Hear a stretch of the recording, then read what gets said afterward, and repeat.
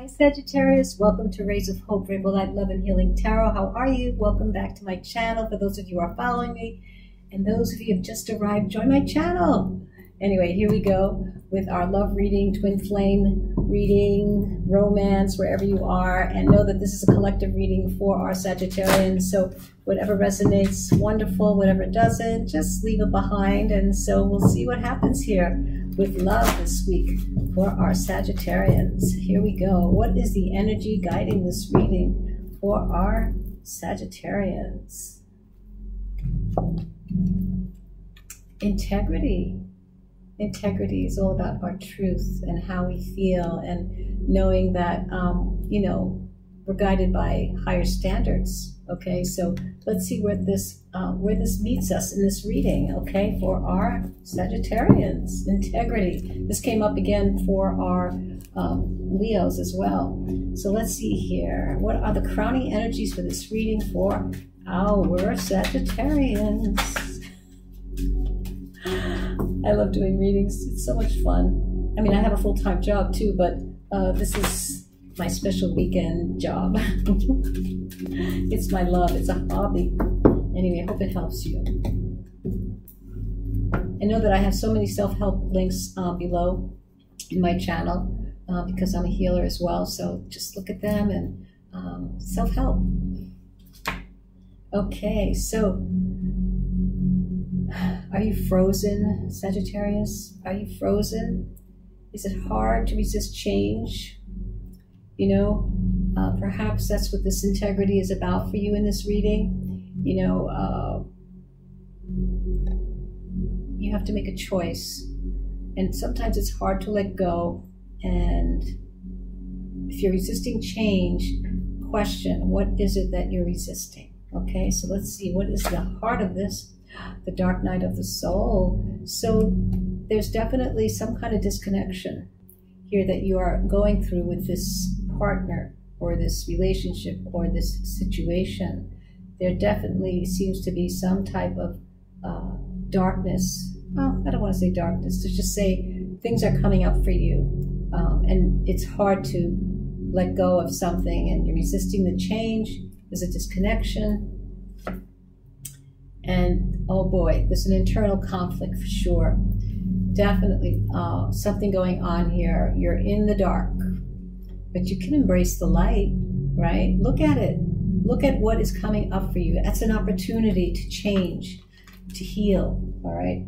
That's what's coming up for you right now, Sagittarius. It's time to uh, look at all the parts of you. Take a look. Integrity. Be honest you know, be honest with yourself and make sure that you're not covering up. Because when you're frozen, you're resisting to change. It's hard to let go of something that you might be trying to hold on to. You don't want to change. All right, so let's see what the tarot will bring. Let's see what other information we can give our Sagittarians. Another ending this is the death card. So there's a transition going on. There's definitely been and evidently an ending here. Wow. And here's the devil. There's, there's two cards in a row. Wow, this is very, very strong. Um, there might have been an obsession here, and you can't let go. Aw, all right, that happens. That happens, but it's a lesson. And then here's the Four of Pentacles. Yeah, well, you're holding on. You, you're really holding on. Wow. It's time to kind of take a look deeper, you know, into yourself, you know, into this internal conflict. You know, let your heart open to you. All right. Let's just keep shuffling here because this is definitely one of the biggest changes I've seen so far in the cards. Um, I just did like so many readings, and this one has never come up for, for anyone except you. It's very special. Very special, Sagittarius. Very special. Okay. Let's see. What else could be coming up for you? You want the Ace of Cups, my darling. You want the Ace of Cups. You want a new love, a beginning. You're overwhelmed with emotion right now, and you really love this person. Hmm And here's the Four of Cups. Okay? Um, there's definitely discontent, you know? Wow, in your heart, I feel it. And then here, illusions. The moon is here in this connection. So there's definitely a lot of uncertainty, complicated relationship. What you thought was real is not. It was an illusion. You know, you jumped over the moon for this person and now it's it's ended in some way, but it's something to learn from, you know. Sometimes we have to look clearly, more clarity. So let's see here. What else can we give our Sagittarians?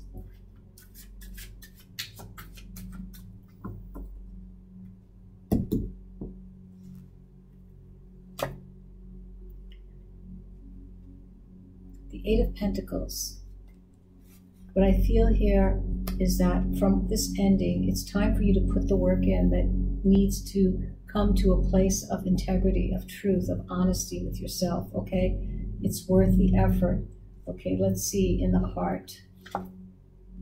Ah, the Eight of Swords. You are definitely feeling helpless and trapped, frozen it's within your own prison, Sagittarius. It's time to really, really, you know, give yourself the Ace of Cups. Give yourself that love, all right, during this transition that you're going through. Put in the work. Really love yourself. That's where love comes from. And then when you love yourself enough, that echoes into the uh, into the stratosphere. Actually, it goes around everywhere. People will be attracted to you because it's a positive love. Okay. Let's see what this possible probability is. There'll be a renewal. Okay. There definitely. This is the Judgment card. So there's definitely going to be some renewal of love, past actions and consequences that you may have gone through or will go through but there's definitely a call for healing here, um, Sagittarians. Definitely a lot of healing is needed here to go forward into any renewal of love. And first it has to come for yourself. But let's see what the scarlet energy is going to give us on a deeper level of what could be something that we need to look at. What energies could be here over this reading here. Take, it's a risk. Love is a risk always, okay? Take the risk or lose the chance to recover. All right, so it's time to really heal. It's not ready to accept what you have to offer, okay? Whoever you're with is not ready for what you have to offer. And waiting. Waiting is something that is not easy, but be hopeful, all right? Be hopeful.